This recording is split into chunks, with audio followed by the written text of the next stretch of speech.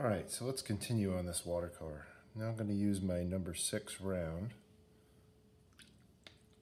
And I'm going to start working with a little bit of the greenery here. So I'm going to get a little bit of sap green, one of the colors I told you I'd use. I'm going to water it down quite a bit. Again, just like I said in the last video, just keeping it, keeping it as light as possible. Um, and some of these areas are going to get quite a bit darker here in a bit, but uh, for the time being, I like to just get a base, base color down.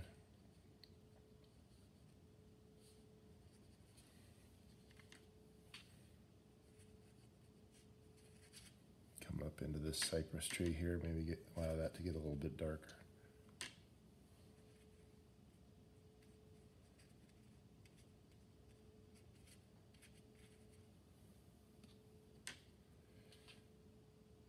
And all of a sudden, in juxtaposition to all these cool colors, I now have a little warmth going. It gives us a better idea of um, a little bit of sunshine. Bring a little yellow into that sap green to warm it up a little bit, give it a little bit more sunshine. Just drop that in, just let it bleed into the green a little bit. Warm it up.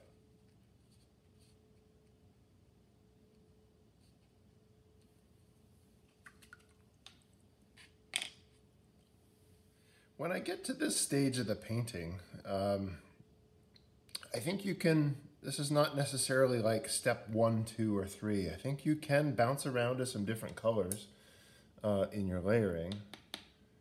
And I don't think it really matters so much as long as you don't get too dark. I'll get some more of my ivory black.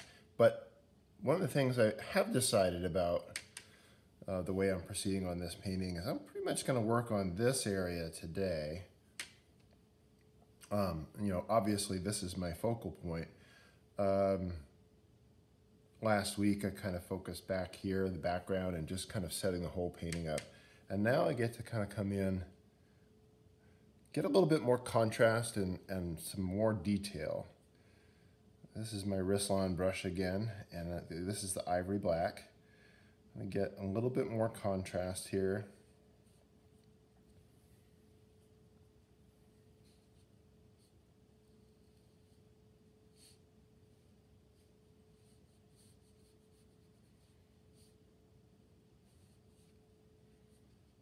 Again, leaving some of those lighter spots. I'll show you guys later how you can darken those up so that they don't look like you know, real bright lights there. And this is that same wall. It just kind of curves around here instead of retaining wall. Keeping the gardens from falling into the lake.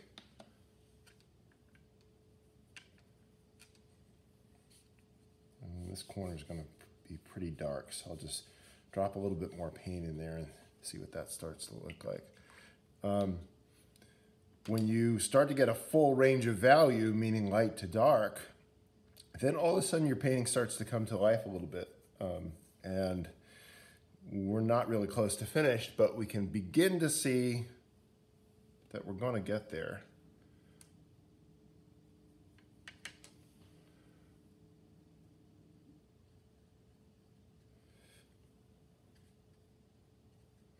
This is ivory black going up over this tree.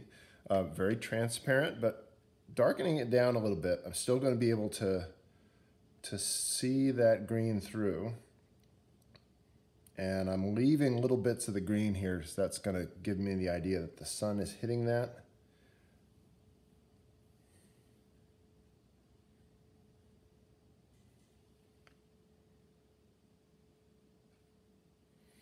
I'm gonna switch to a smaller brush here. I'll leave you right there. And go back to my number six.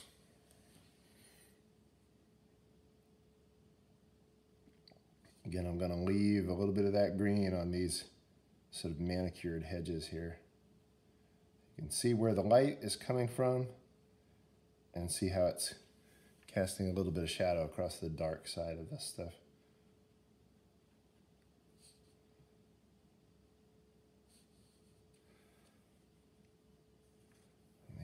Are connected.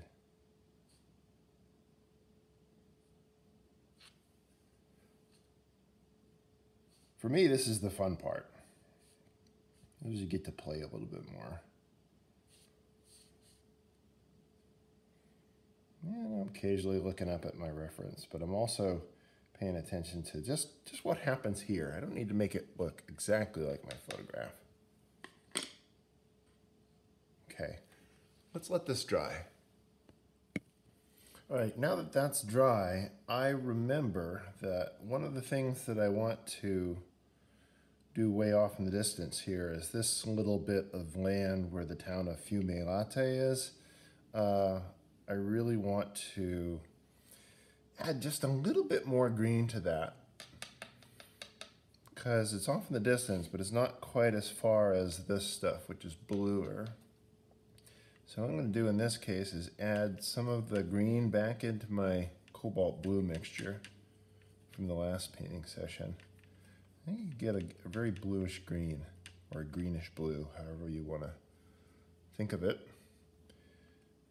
Again, I'm going to add more water. We really keep this light. Now that this these hedges are dry, I'm going to be able to paint around them or through some of the dark parts. Just make sure you leave that little sunny green highlight there. This is going to get just enough green in there to make that believable. Don't want it too dark though. So I'm going to lift a little bit with my paper towel.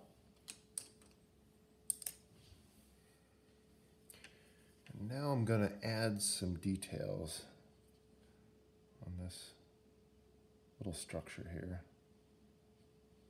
It's an octagonal building, but for a painting this size and as far away as it is, you don't really have to get too much in. Just the, the darkest darks. And like I'm leaving a little bit there because I know the sunshine is hitting that. If you take a look at your reference. And then uh, there's definitely these two portions back here, two thirds of it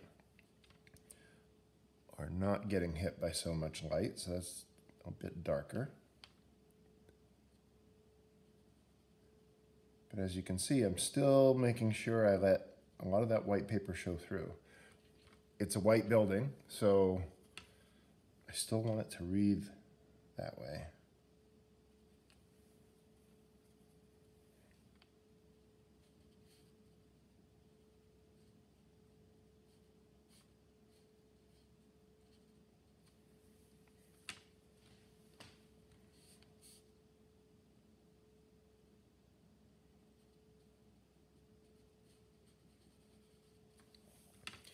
Talk when I teach, I talk a lot about connecting different areas, and that's one of the things you're going to see me start doing in the next few stages. Is um, we've got a blue area here, we've got a green area here, and we've got kind of a gray area here, and I think watercolor is a, a lot about layering, and it's when you start connecting these layers or connecting these sections with layers rather that your painting really begins to click.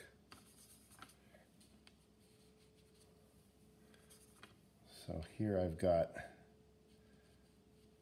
this ivory black wash that is now coming in a little bit over my greenery, giving me more contrast, coming down over the stone wall,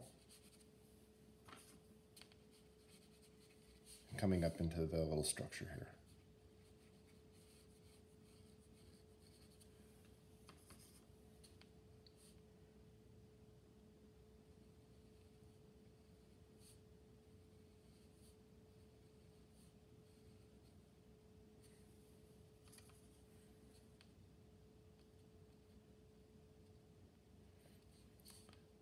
Not bricks here, they're all stone, but I like to just give a little bit of suggestion of that. Hope you can see this well in the video. Just and, and the direction that they're going in. That's very important.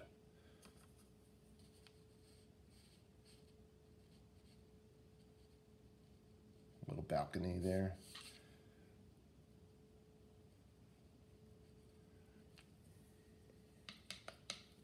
Okay. Let's let that dry. One of the things about um, having sun and shadow in a painting is the contrast of not only light and dark, but the warm and the cool. And so now I'm going to start to use some of the, the Payne's Gray that I suggest, suggested you guys have for this painting. And in my palette, I keep it right next to the ivory black. And it just has a cooler cast to it. Not quite blue, um, but it's a nice dark. And when I get this down next to some of those warmer green areas, um, it really works well to feel the cool temperature of the shadows. Uh, the reason I used ivory black here is because the stone that makes up this wall is actually quite warm in color. But then if a shadow comes over top of that, it would cool it down.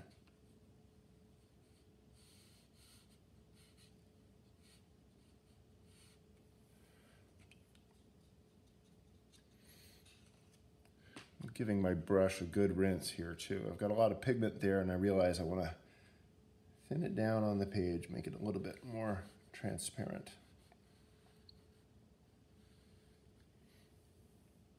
And you can do this with your trees here too. Again, just I want it to be transparent enough to see that green through, but I want it to read a little bit more like a dark when you first see it. Um, and just the hint of green let you know that it's definitely a big cypress tree here.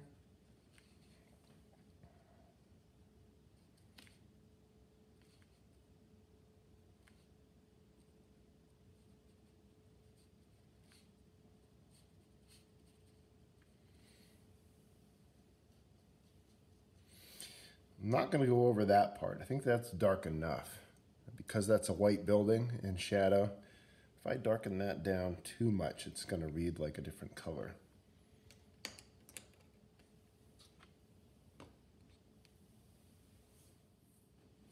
So now that we have some connecting shadows there, so looking back at my photograph, I'm realizing that I really need to address this area here.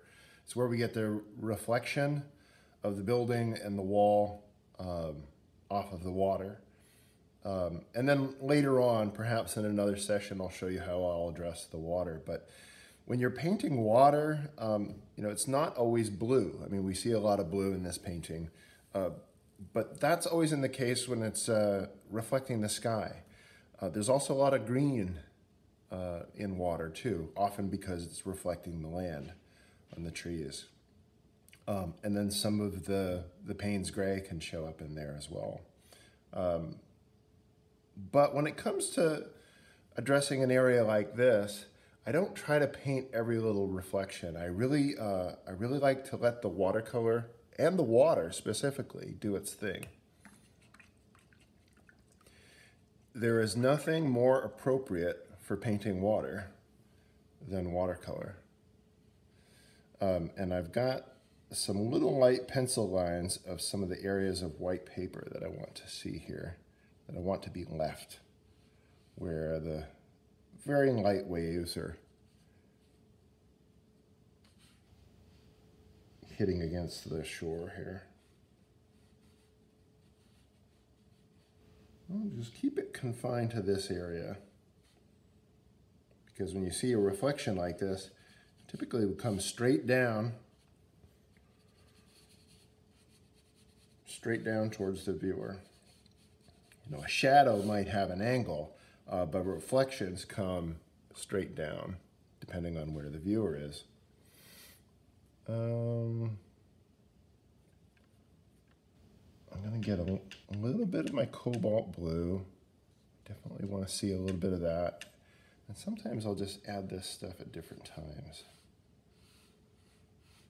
So this is gonna read a little bit darker than what we had there in the initial layer.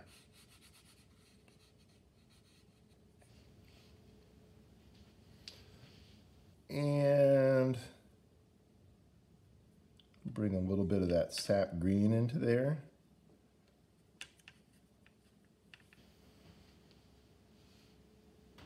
Get a little bit of that.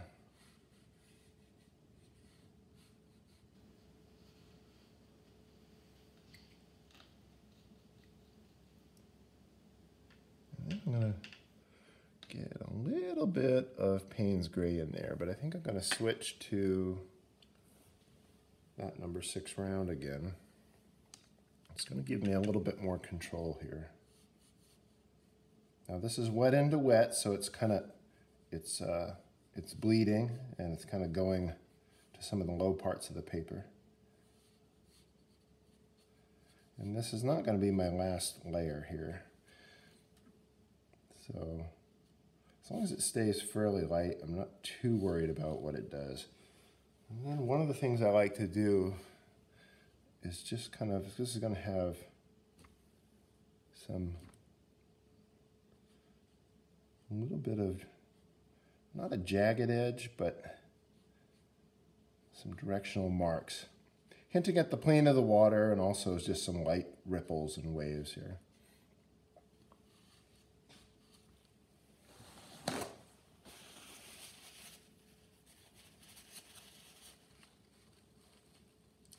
Looking at that, I realize I just want to soften that edge, bring it back a little bit so it's more in line with this. So while that stuff's really wet and hasn't been down for long, you guys can blot that up. I think I'm just going to let that edge be very soft for now.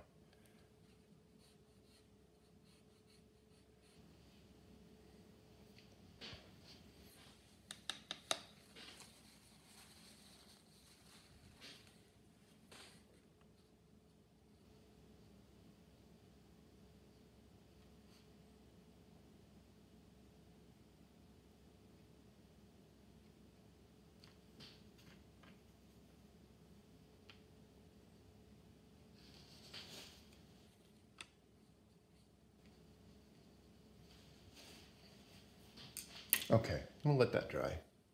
So at this stage of the painting, I'm really feeling pretty good about how things are developing and uh, this is actually starting to look like something now.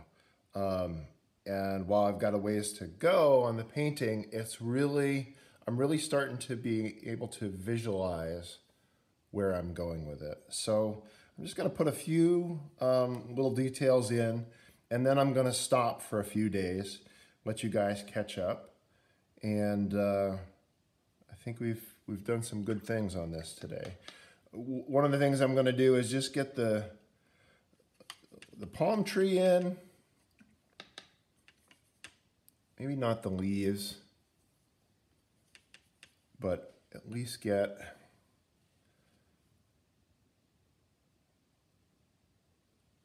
and not as get this in not as dark as it will be eventually just get something in. Remember how I told you guys you want to work the whole painting overall, so you don't you don't want to leave major parts of the painting um, for the very end. And I think that that's pretty important. So I want to be able to see what that vertical looks like in there. And then this little dark bit here going to be a good, it's a good part of this composition to darken this, direct the eye back in this way. Okay.